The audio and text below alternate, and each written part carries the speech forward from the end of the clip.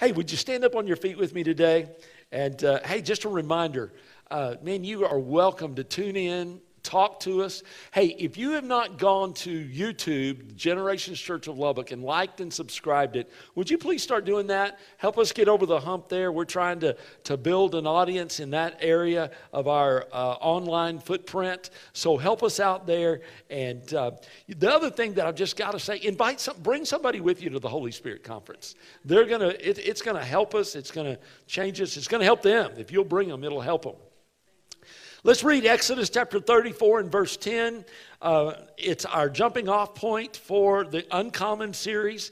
Uh, this is a, a text that uh, it's after Moses has gone up on the mountain to receive the Ten Commandments the second time.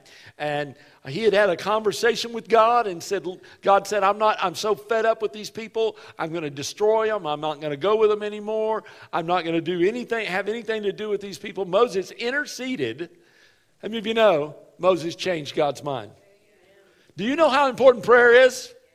Moses changed God's mind when he prayed. You can read this in Exodus 32. That's their rebellion. Exodus 33 is this conversation when God decides to give them another chance. Everybody say another chance.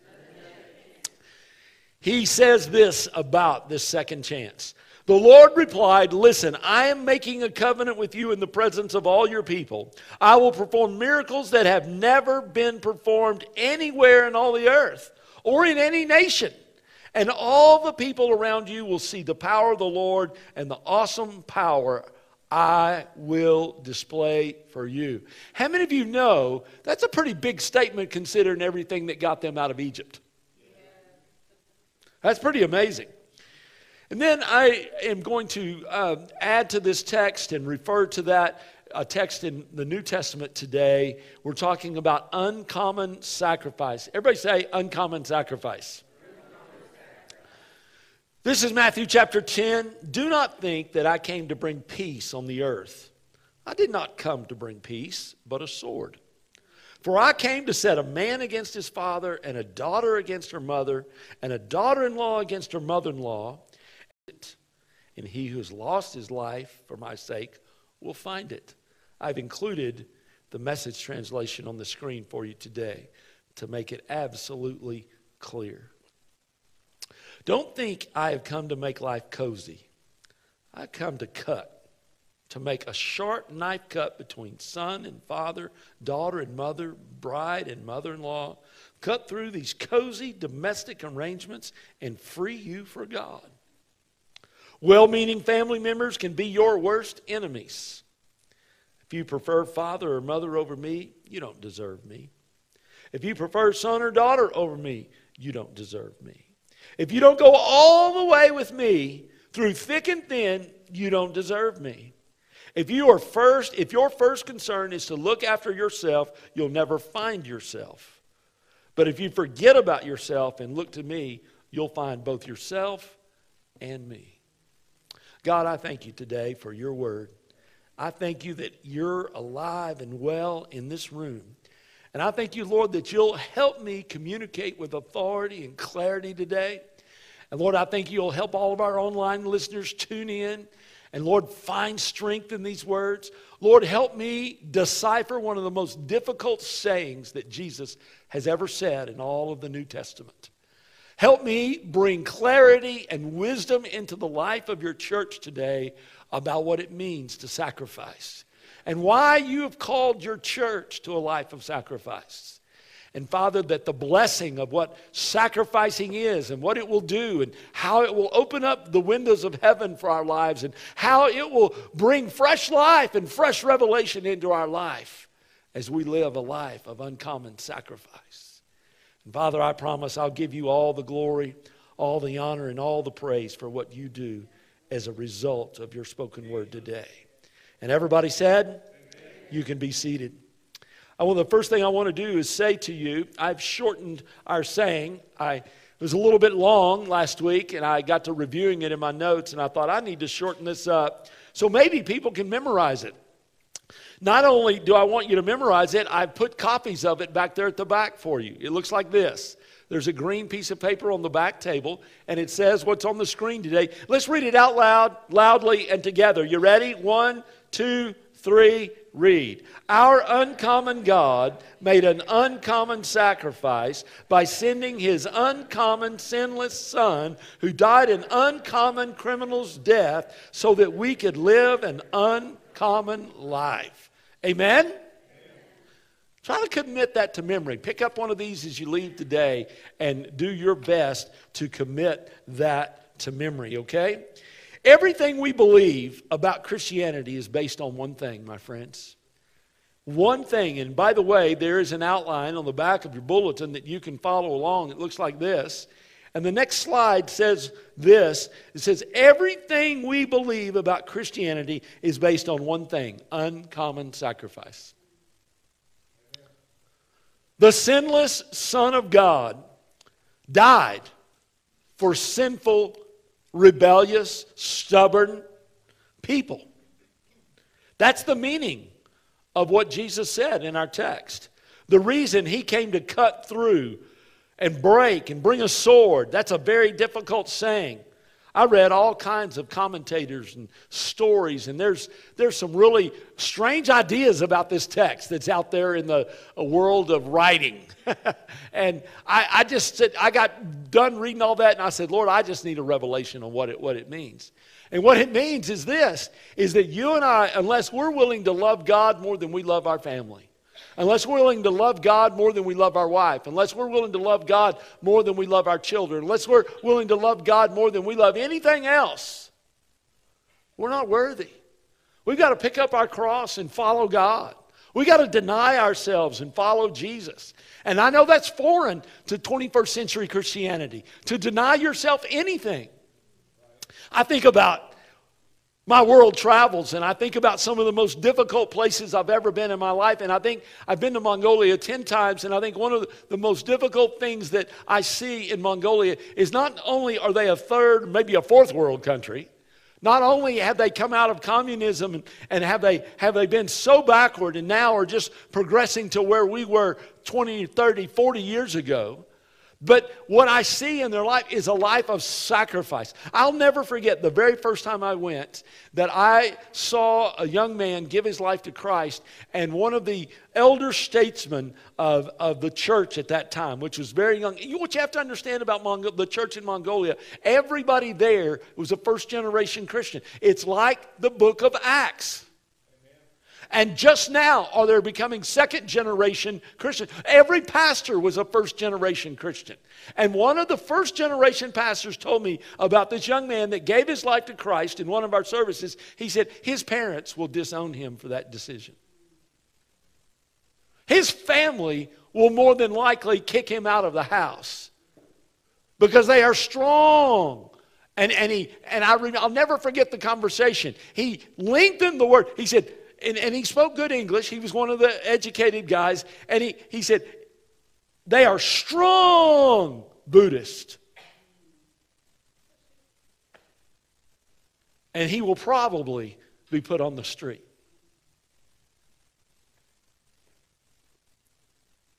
That's sacrifice. It's something you and I, and I include myself in this, we don't know anything about. We don't understand it. We, don't, we, we, we can't figure that out. But when, it, when Jesus gives this very difficult saying about dividing households, and even making the statement that people in your own house are going to become your worst enemies. Wow! Now, I don't know everybody's story in the room, and I certainly don't know everybody's story that's watching online. But what I do know is that some of us in this room, we don't, all of our children aren't serving God. And what you believe and what you stand for brings division in your house. And it makes it hard, it makes it difficult. It makes for a rough time at Thanksgiving. It makes for a rough time at birthdays. It's a challenge. But one of the things that I want you to know today is that God is calling us to sacrifice. God's calling us to a lifestyle of sacrifice. I'm going to skip some of the stuff in my notes because I just, I, am looking at the, the way I prepared it. I might do it in the second service, but I'm not going to do it for the first service. I, I, what I want you to do to understand, to connect the dots for you in this 21 days of prayer and fasting, I want to give you, I'm not a teacher. I'm not, I can't hold you accountable for this. It's not like you're in school. But I, I would hope and I would suggest, strongly suggest, that you leave this service today and go home and read Isaiah 58. And what happens in Isaiah 58, it opens up about with, with the first prayer, blow a trumpet, make a sound, you know, and blowing a trumpet in those days was a call to worship for the church. And they were probably, when it says blow the trumpet, they were probably talking about blowing a shofar a ram's horn and making the noise. And it was a symbol that they called the church to a place of, of unity and a place of worship. And it talks about that. And God starts talking to the people uh, through Isaiah. And he says, You're fasting and you're doing all these religious things, but I'm not listening. Because while you're fasting and while you're praying, you're still serving yourself. Now, I'm paraphrasing. You're going to have to go home and read this. While you're fasting and while you're praying and while you're doing your religious stuff, you're still serving yourself. The fast that I want is where you deny yourself and you reach out to the widow, you reach out to the poor, you reach out to the naked, you reach out to the bound and the bruised, and you, you do something for people. Basically, here, here's my paraphrase you do something for people, they can't pay you back. You sacrifice. You sacrifice.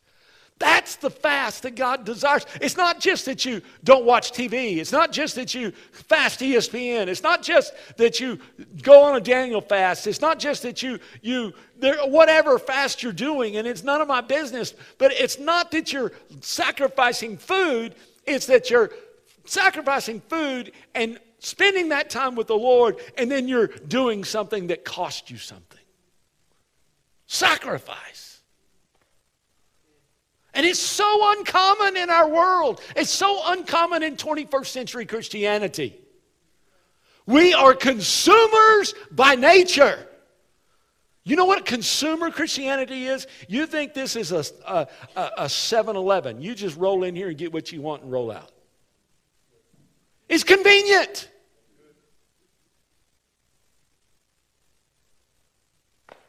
God calls us to live for Him 24 7, 365. And my friends, that is a life of sacrifice.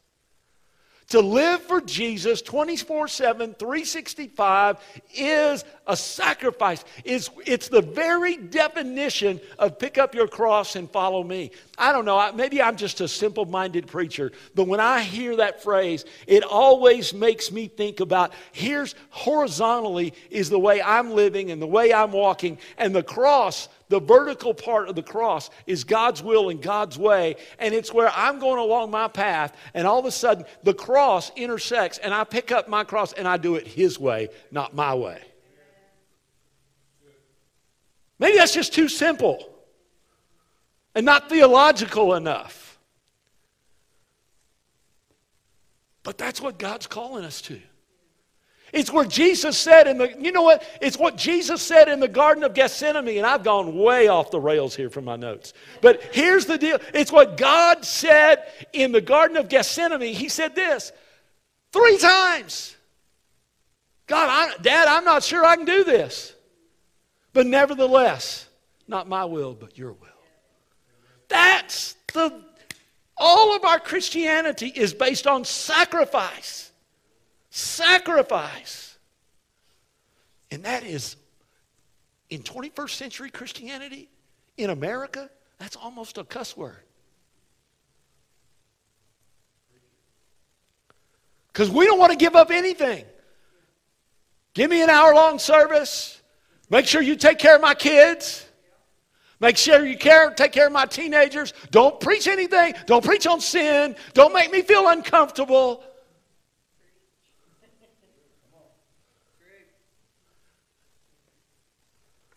Don't ask me to give up anything. Don't step on my toes. Heard a preacher say one time, it's my job to step on your toes because you walk on the bottoms. It's my job to walk on the tops. I, that wouldn't go over well in this culture.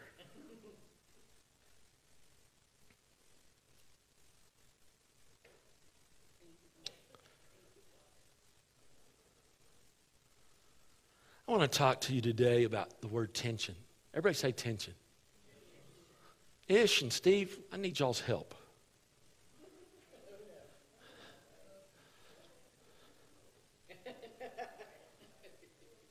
No, you're not going to work out.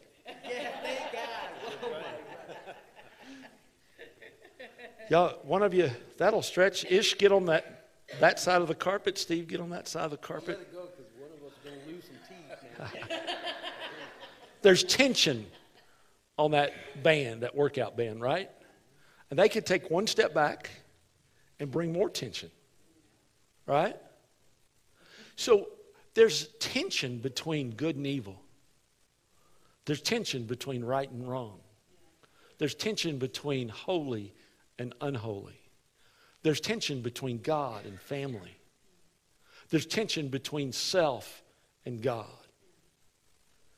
There's tension. You feel it and I feel it, right? Now, the option in dealing with tension, you can compromise. Y'all move together, keep coming, keep coming. Keep, there's no tension. They've compromised. Right? So if it's holy and unholy, they've come to the middle and they've compromised, and it's nothing. There's no impact, there's no benefit. If it's right, if it's wrong. And, and this is what Matthew 10 34 through 39 is talking about. That if you love your wife more than you love God, if you love your husband more than you love God, if you love your kids more than you love God, if you've got anything in front of God, you're not worthy of me, is what it says. And there's, keep going back again, go stand on the carpet.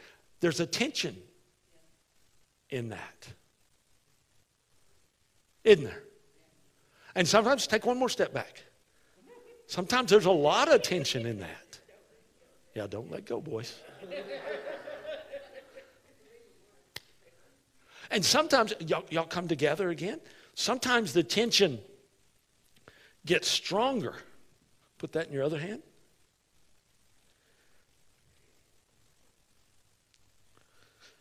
Now go back. Now go back. Now, this one, you can feel it, can't you? You can feel the difference from one hand to the other. There's certain issues that, that this is easier to pull. It's not as strained, it's not as difficult. This one is a little more difficult, a little, little bit, um, what's the word I'm looking for? A little bit more challenging. And so there's certain issues that come up in our lives that the tension of those things is difficult. Y'all come to the middle and just rest a minute. Y'all are going to help me preach for a while. Y'all just stay there. Now, here I go. I'm taking, I don't usually do stuff like this. I try to stay out of this lane, but I just, I was so moved and so convicted by what I heard this week, I have to wade into this pool. The next slide talks about JoJo Siwa. She's a child star from Nickelodeon. She's a singer and a star of a show called Dance Moms. She became started being famous when she was 10 years old. She is now 18 years old. You'll see on the screen, she has 12.1 million YouTube subscribers. To put that in perspective, Generations Church has 98.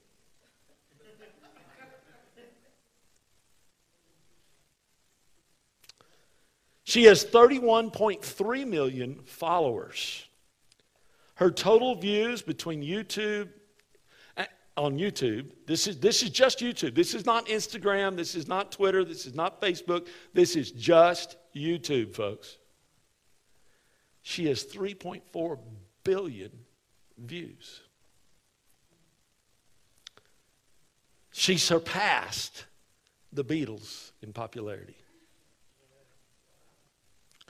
In 2020, she was included in Time's annual list of the 100 most influential people in the world.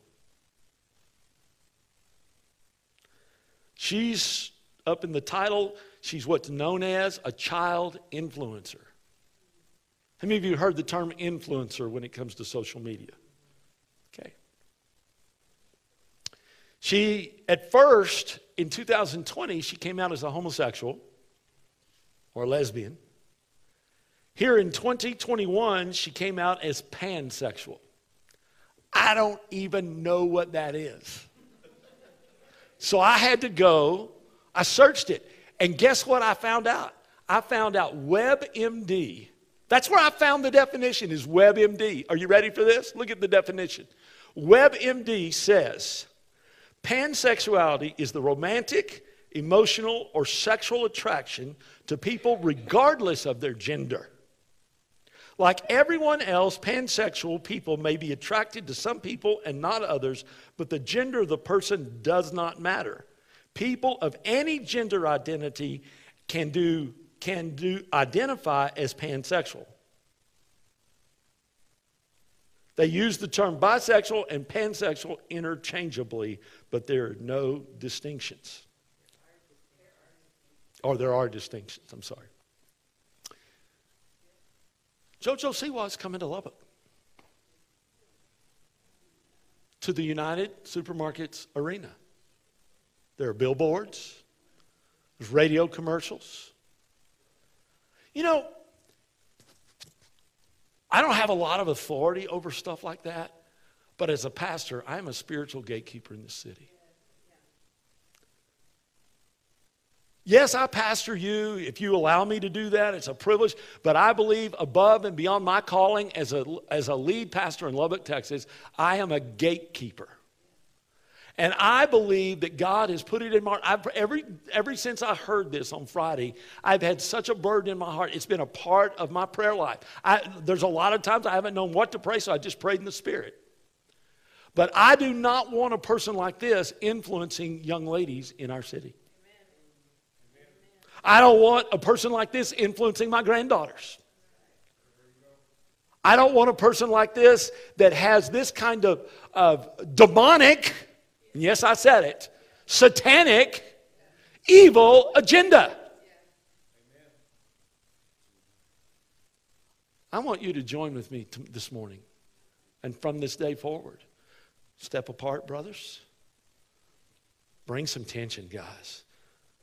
You know what? The issue I'm talking about right now brings a cultural tension. And guess where, guess where the cultural tension is? It's in your house. Because your girls want to watch this girl. She's cool, she's popular, she dances good, she sings good. All of your daughters, all of their friends are watching her. They're talking about her. They're hearing other people talk about her and it brings tension into your house. Mom and dad, you've got decisions to make that may not be popular with your kids.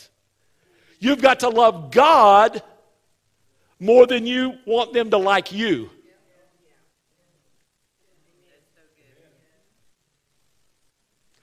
I've always, and I've got one of my children sitting in this room, I've always told my kids, listen, I will be your worst nightmare until you're 25, and then we'll be friends. You'll have kids, and we'll go play golf together. But I will not be your friend. I'm your, your father. And this tension in our relationship is going to be there because I'm more afraid of God than I am of you.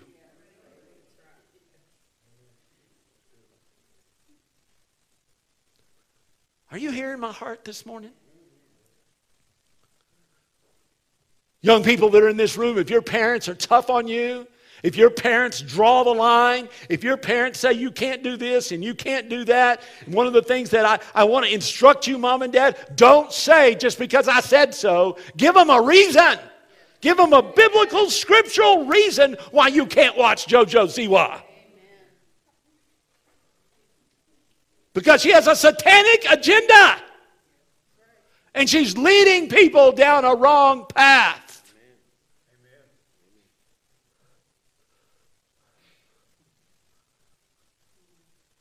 You can relax, gentlemen. On the other hand, I read This week, that Governor Greg Abbott of Texas has put signed a law into effect that goes into effect January the 18th, goes into effect Tuesday, that if a young person in the school system of Texas, if they participate in sports, it's a law. It's signed into law. They must participate in the gender that is on their biological birth certificate. Come on. Now that's what I'm talking about. Back up. There's some tension over that decision. There's some cultural tension.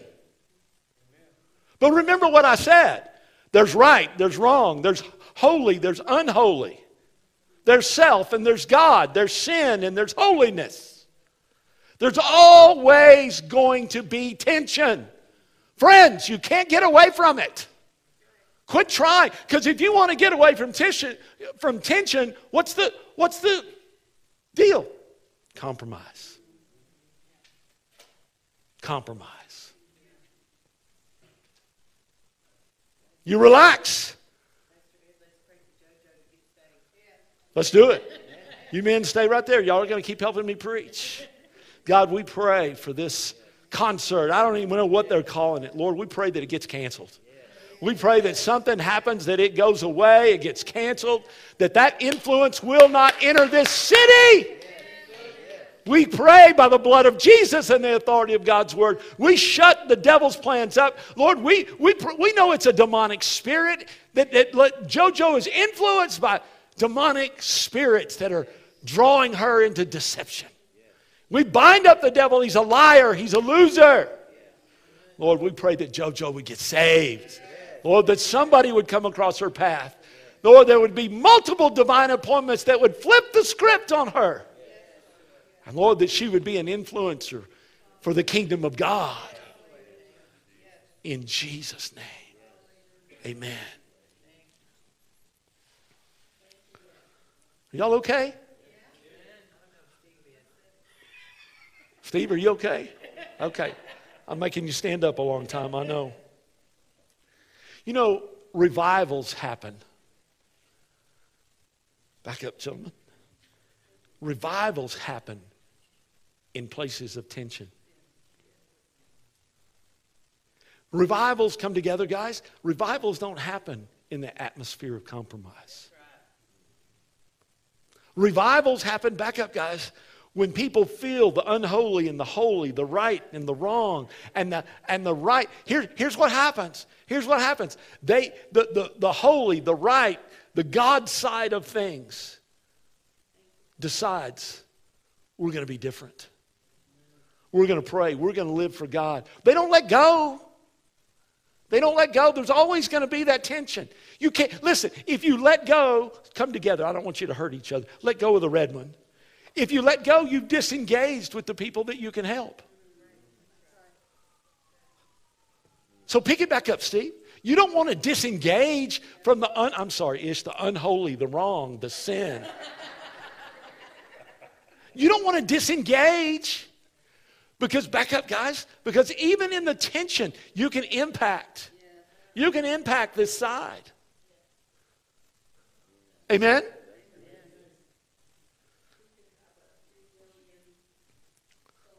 Yeah. You could, you could, all of those influences, all of those hits, all of those things that she's doing. So, number one on your outline, y'all relax just a second, guys. Number one, there's a tension between family and our obedience to God. I've already said this. I've gotten ahead of myself. I'm not going to beat this like a dead horse, but we've got to love God more than we love our wife, our kids, our friends. We've got to love God more than we love our employer. We've got to love God more than we love people liking us. Hello? Did you hear what I just said? We've got to love God more than we love people liking us. We've got to raise the standard of righteousness in our home first. I think that's why Jesus told this story. This not, it's not a story. It's why Jesus made this fact. We've got to love God more than we love our families.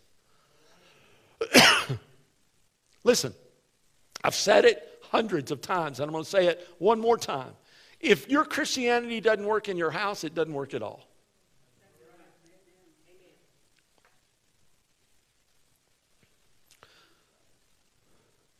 Sin is out there, sin is rampant. I remember in my very first church that I ever pastored, I had a man that started coming to our church. He was a former banker, but he'd gone to prison for embezzling money. And he, by the time he came to our church, he was out of prison, and God was speaking to him to start a prison ministry. He did. His kids didn't, they didn't buy in because they said, We saw what old dad was like. Dad got saved in prison, dad got out of prison and was all in for Jesus. and they didn't get that. Some of the kids, some of the kids, they had daughters and son and one son. And they, the, the, the kids all at one point or another went a little wonky. And, and I'm in, in fairly close relationship with the son today, and he loves God, he loves Jesus, he's serving Jesus. But that tension, dad brought tension into the home because he wanted to serve God.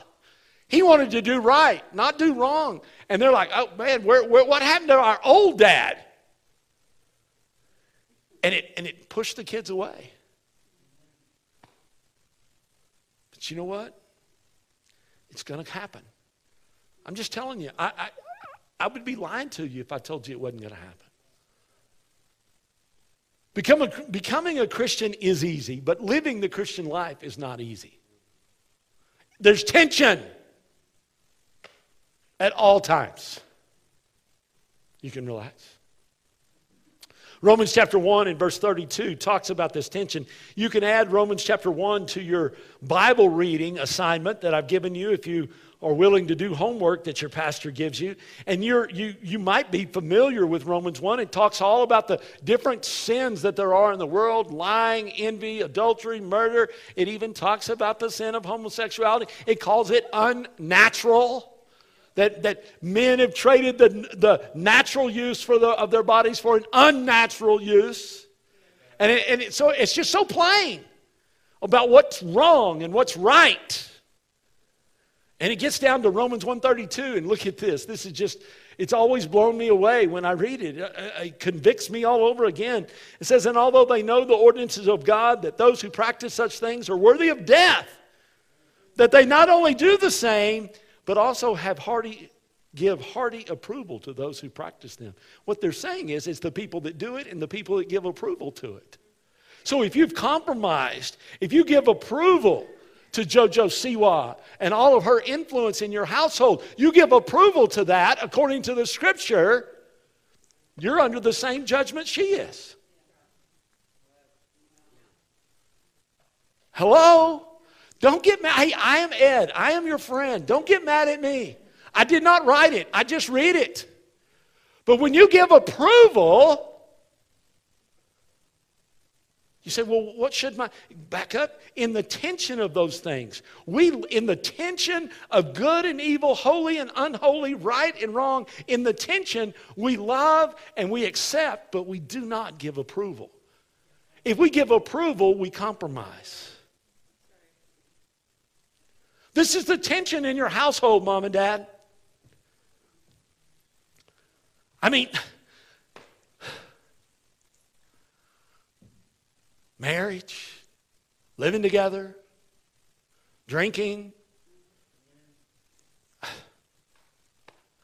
I mean, I'm not just going to go down the list and calling out sins, but when you compromise, when you when you come together and you you let go of the tension, you open the door to the enemy. Well, we love each other. We're going to get married. We're going to get married, so we just go ahead and have sex together. Compromise. But when you, the tension in the relationship, Hey, here, here's another tension for you saved and unsaved. You get in a relationship. You get, yeah, there's, there's pull. There's, there's real pull. Saved, unsaved. Well, the unsaved's trying to pull the saved. Where? And the saved's trying to.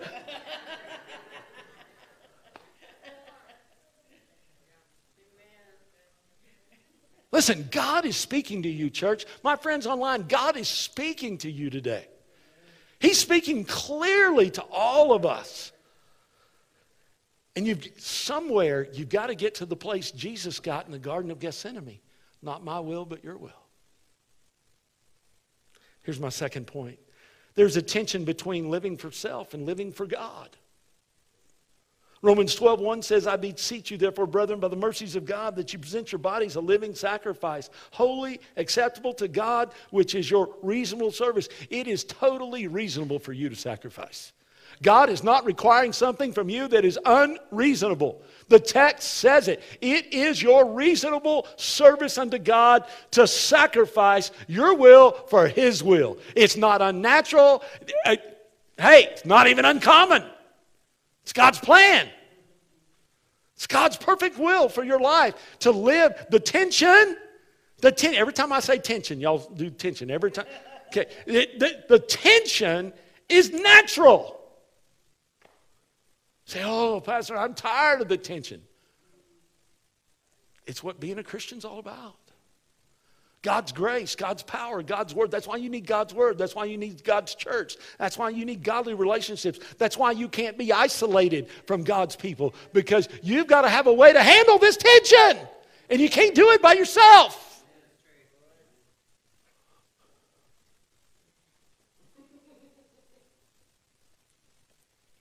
My third point and final point is there's tension between the easy way and the hard way. I'm going to tell you a story. It blew me away. I had to check it out. I went and checked this story out because I heard another person tell it and I didn't know if it was true. Some of you have heard about this story. In Allen, Texas, just north of, of Plano, the, they built the largest high school football stadium in the United States of America. It cost $60 million a high school football stadium, seats 18,000 people. Well, when they got it built and got it inspected, the inspector said, "You can't come. You can't play football in here. The the underneath the the bleachers are all these concrete cracks." And my research showed the concrete cracks. The, the, I don't mind saying the, the architect was PBK, Pogue Construction. And get this, what I found out. I heard the story, I didn't believe it, I researched it. That Pogue Construction that built the stadium, they fix the cracks, cost them $10 million. They didn't charge it to Allen Independent School District or the taxpayers of Allen. Not only did they fix the cracks at no charge, but they gave, gave them $2.5 million in lost revenue because the stadium wasn't open on time. Guess what? Pogue Construction, they're all Christ followers. They chose the hard way, not the easy way. They did the right thing the right way at the right time because they loved Jesus and there was a tension. How many of you know they could have compromised and said, Y'all approve this design? Y'all approve this. Y'all inspected this. But no, the tension of doing the right thing or the wrong thing. And because they believe they name Jesus as their savior, because they call themselves a Christian company, because they believe in doing the right thing, they spent all that money. Jesus said this, look at this text. Be up on the screen for you. You can relax, guys. Enter through the narrow gate, for the gate is wide and the way is broad that leads to destruction. And there are many who enter through it. For the gate is small and the way is narrow that leads to life, and there are few who find it. The easy way or the hard way? The broad way or the narrow way? Listen to what Eugene Peterson says in the message translation. Don't look for shortcuts to God. The market is flooded with surefire, easygoing formulas for successful life that can be practiced in your spare time. Don't fall for all that stuff. Even though the crowds of people do, the way to life to God is vigorous and requires your total attention. Man, I love that. The way to God is filled with tension. Yeah, you get saved. It's easy to raise your hand and pray the prayer, but immediately there's tension.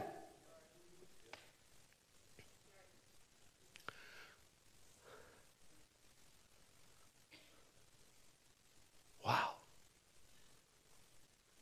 You guys are done preaching. Thank you. Thanks for helping Pastor preach today. Yes, Master.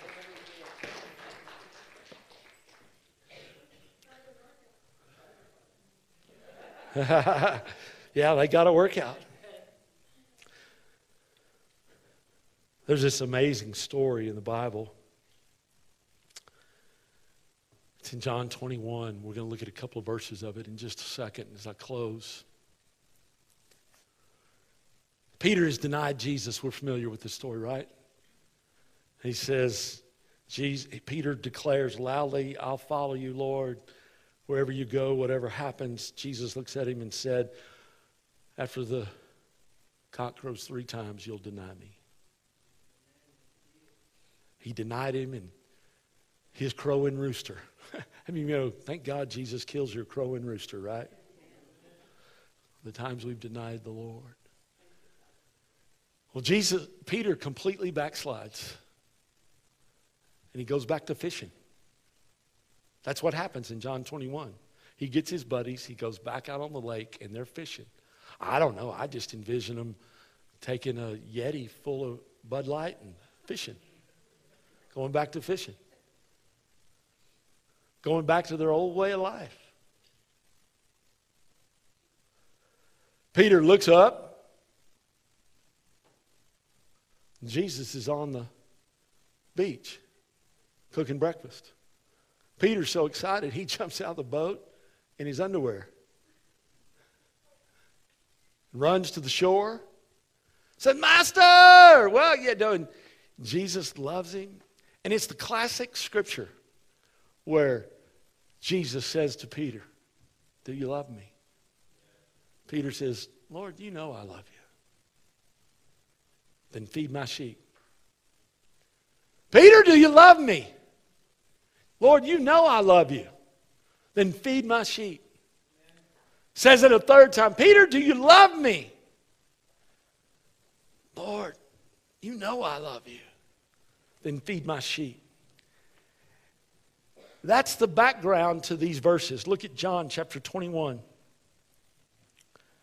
Truly, truly. Now, wait, let me just set this up. There's no interlude between what I just described. The verses right above verse 18 are the verses where they're having the conversation, Do you love me? So there's no exclamation, there's no explanation why Jesus goes from that to this. There's no therefore, what for, how to. He just goes to it. Look what he says. Truly, truly, I say to you, when you were younger, you used to gird yourself and walk wherever you wished. But when you grow old, you will stretch out your hands, and someone else will gird you and bring you where you do not wish to go. What this is, that's a prophecy about how Peter's going to die.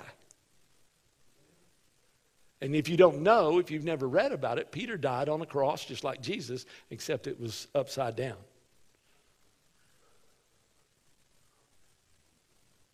And listen to the next phrase. Now, this he said, signifying of what kind of death he would glorify God. And when he had spoken this, he said to him, Follow me. Sound familiar? Matthew chapter 10. If you love your wife, your kids, your family, no, you, you got to deny yourself. You got to follow me. You got to sacrifice. So, Peter, many of you know Peter has a mouth problem? Peter says, He's true to form, he hadn't changed yet. He says, turning around, saw the disciple whom Jesus loved following them. That's John. The one who also leaned back on the bosom of the, uh, at the supper said, Lord, who is the one who betrays you? That's one question. So Peter, seeing him, said to Jesus, Lord, what about this man? In other words, you've told me how I'm going to die. How's he going to die? Listen to what Jesus says. I love this. Jesus said to him, If I want him to remain until I come, what is that to you? You follow me. You cannot compare yourself to the sacrifice of others. You have got to. You must. We must. We must. We must. Not we should. We must follow Jesus on our track and not look at what somebody else is doing.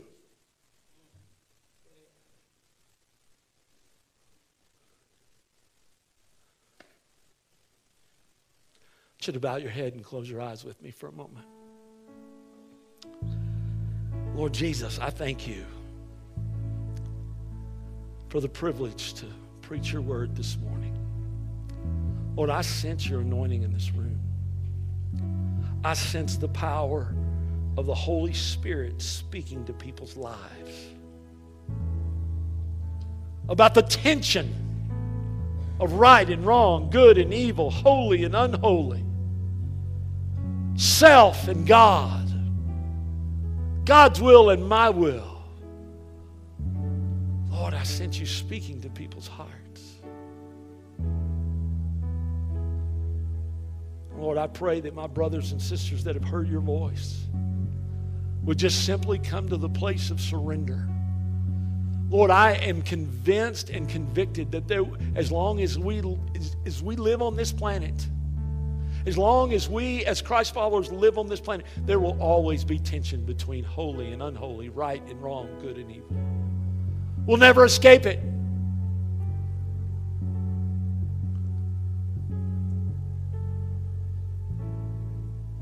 So, Lord, help us to raise the banner of righteousness. Live for God, love and accept people, but never find ourselves giving approval to evil. Give us the courage to live by our uncommon convictions, like we talked about last week. In the name of Jesus. Amen. I want you to look at me for a moment. We're going to sing a song. And while we're singing, I believe there's some of you that are living under such tension that you need to come to the place you've compromised. You've, you've let the slack in the rope because you're tired of fighting. You're tired of, you're in, you may be in the position of compromise. Maybe you're in the position of tension and you need courage and you need strength. I don't know where you're at. And I'm not going to embarrass you and I'm not going to define which one you are. But here's what I believe I believe you need to take a step of faith and ask God to help you. And while we're singing, I believe you need to come in the front right here. And I'm not going to come lay hands on you. Nobody's, I think you just need to say, Jesus, I surrender. Nevertheless, not my will, but your will. That needs to be your prayer this morning. So I want you to stand up on your feet with me today. I want you to sing this song, and if the Lord is speaking to you and you need to do business, you can feel free to kneel at a prayer rail. You can come and just stand and surrender. But please, please be obedient to God. Be obedient to Jesus.